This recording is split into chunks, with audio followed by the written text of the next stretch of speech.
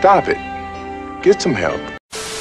ということで、はいはいはい。現在ピックアップ中の上里彩香ですが、ねね。ねうん。えー先日彩香や上里家について触れたストーリー PV が公開されました。はい。せっかくなので改めてここで皆さんと視聴していきたいと思います、ねこのエモい兄弟の。ですね。ね見ていき見ていこうよ。ましょうどうぞ。これめっちゃバズってたよ。上里家の宿命やまあ見たけどすごかった。すごいクオリティが高かった。アニメーションのクオおリティ兄様がは一人で背負うべきものではありません。本当になんか映画の予告みたいですもんね。本当だよね。このなんかねちょっと彩香がこのちょっと覚醒する的な感じのまさにそのがすごく良かった信念ゆえのもの。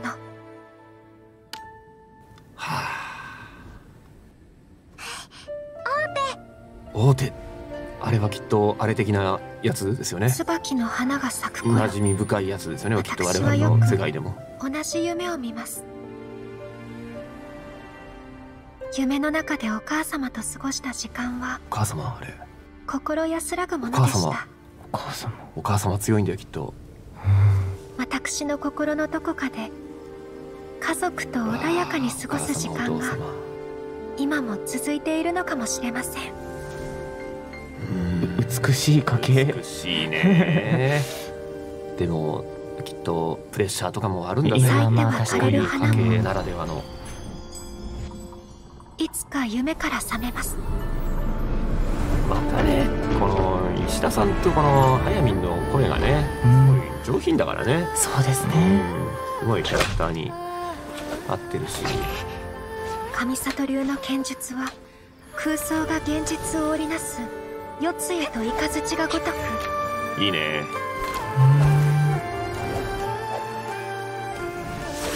心の思いによって動きたとえ夢の余韻だとしても来るぞ。日々胸の中に渦巻くこのぬくもりが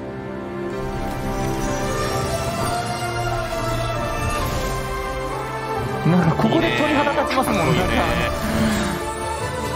壁を突き破り刀をなすのです。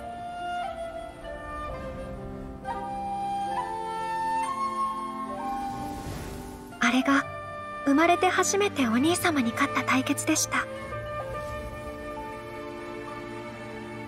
そして白鷺の姫君が誕生した瞬間でもあります。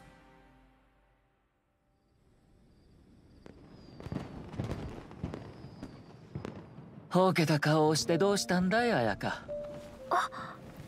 花火はもう上がったし皆が待っているよ。ジムを引き受けたのは綾香の方だろ ごめんなさいお兄様。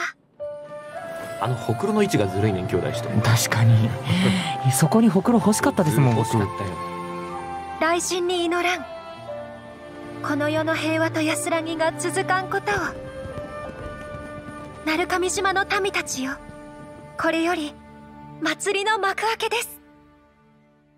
いやーね思わず拍手してしまいたくなる PV でしたけれどね素敵な兄弟でございますね。ね